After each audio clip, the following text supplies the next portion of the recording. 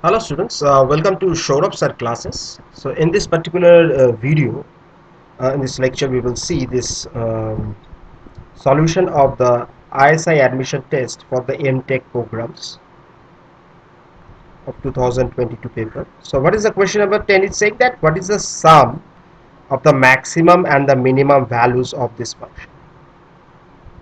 So let us take this f of x is 1 by nothing but 1 plus 2 cos x minus 4 sine x whole square. So let us take an option gx so which is 2 of cos x minus 4 sine x whole square. So now fx will be maximum right? When gx will be minimum. This is the first condition. And another one is the vice versa that is fx will be minimum when gx is maximum.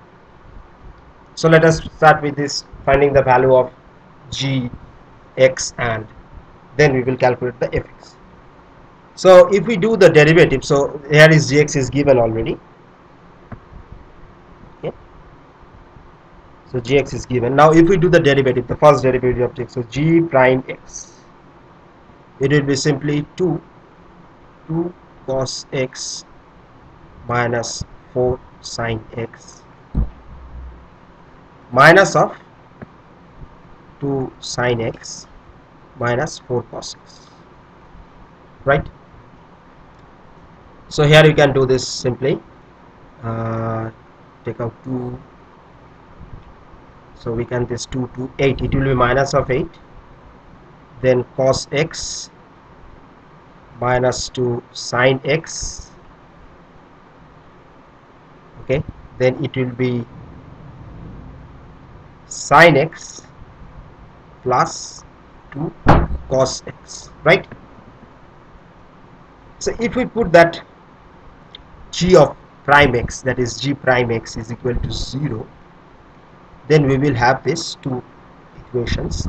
So first one on this side is the cos of x is equal to 2 of sine x okay? Or we can write it cos of x by 2 is equal to sine of x by 1 let us say take some constant this k so from here we can find this sine of x is equal to minus 2 cos x.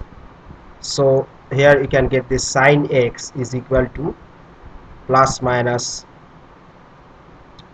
So before that uh, yes before putting the value of here okay so let us find.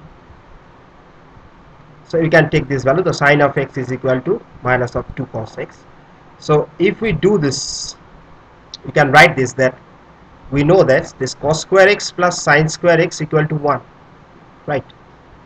So if we put this value as 4k square plus k square equal to 1 that is we have this k square equal to 1 by 5 or k is equal to plus minus 1 by root 5 simple so from here we can find this value of the cos x and the sin x. So sin x is equal to plus minus minus of 2 by root 5 and cos x it will be simply plus minus 1 by root 5 this one. And from here we can get that cos x will be plus minus 2 by root 5 and sine x will be simply plus minus 1 by root 5 right. So we will first take this only. So this is for mm, we can put it in bracket. So this one value of sine x and cos x and we have this cos x and sine x value so now if we put this in this manner so if we take this value of cos x okay so write in this manner this cos x comma sin x it is simply plus minus 2 by root 5 minus plus minus 1 by root 5 right? So what will be the value of gx here? So gx is so we will take the plus minus value out of this so plus minus 2 into 2 by root 5 minus 4 by root 5 this upon this whole square which is equal to 0 so here you can see that g is minimum here. Now similarly if we take the value of cos x minus sine x as plus minus 1 by root 5 this one and plus minus minus 2 by root 5 okay. so what will be the value of gx so gx will be equal to so we can put the plus minus outside. So 2 into 1 by root 5 plus 4 into 2 by root 5 this whole square equation so it will be given as 100 by 5 that is here you can say this is max so we have to find the addition of the maximum and the minimum value of f so from here we can calculate this f of minimum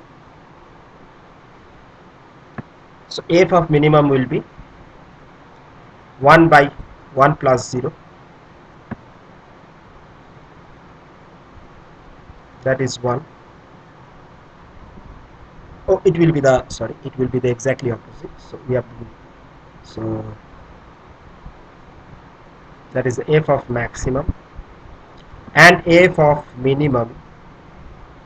Because when g is maximum f is minimum. So it will be 1 plus 100 by 5 that is it is uh, coming as 2021 so 1 by 21 so here we have to find the summation. So f of minimum plus f of maximum. It is nothing but 1 by 21 plus 1 so it is coming out as 22 by 21 so that will be the summation so that will be the final result 22 by 20, 21 so sum of this for question number 10 our correct option is option b. That is 22 by 21